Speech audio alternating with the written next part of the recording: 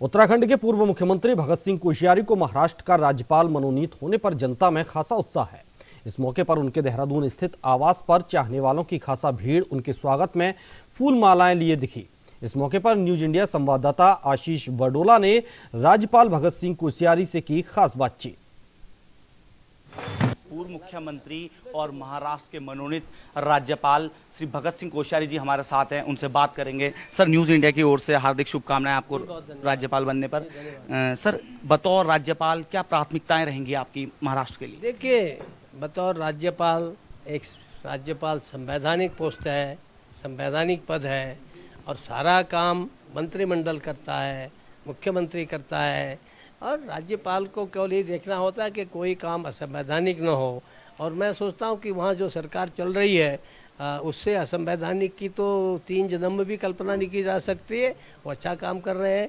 और बाकी जो जनता को सुनना है बात करना है उनके माध्यम से थोड़ा बहुत अपना जो भी योगदान किसी क्षेत्र में हो सकता है तो योगदान जो भी हो सकता करेंगे। सर, कई बार महाराष्ट्र में देखा गया उत्तर भारतीयों पर पथराव किया जाता है, उन्हें मारपीट की जाती है उनके साथ। अब आप राज्यपाल हैं तो किस तरह से देखते हैं? नहीं, मुझे नहीं लगता कि वहाँ कोई पथराव हो रहा है, कोई मारपीट हो रही है। आपके दिमाग में कहीं हो सकता है, कश्मीर हो, वहाँ ऐसा कुछ नहीं होता।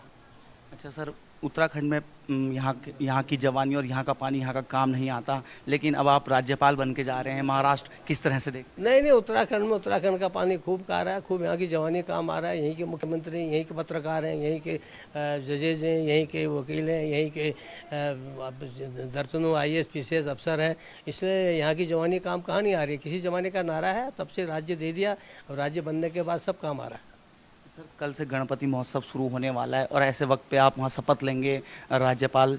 तो आपको क्या लगता है, ये मोदी जी की कृपा है या गणपति बापा की? देखिए, गणपति बापा की तो सबके ऊपर कृपा है। उनकी कृपा के बिना क्या मोदी जी या कोई राष्ट्रपति जी चलते हैं क्या? इसलिए इस सवाल को पूछने में तो ऐसा लगता है कि जैसे कि आपको गणपति मौर्या की और सिद्ध विनायक की ताकत का पता ही नहीं है। थोड़ा पता लगा लीजिए तो फिर सवाल पूछने की ज़रूरत ही नहीं पड़ेगी। यानी पूरी कृपा बनी हुई आप पे गणपति सब गणपति जी की भी सरकार की भी आप सबकी भी। तो ये थे पूर्व मुख्यमंत्री भगत सिंह कोश्यारी जी और नवनियुक्त राज्यपाल महाराष्ट्र। जिन्होंने बताया कि पूरी तरह से सरकार और गणपति बापा की उन पर कृपा है और अपने कार्यों को पूरी ज़िम्मेदारी से निभाएँगे। कैमरा पर्सन विनय कैंतोला के साथ न्यूज़ इंडिया के लिए आशीष पडोला देहरादून।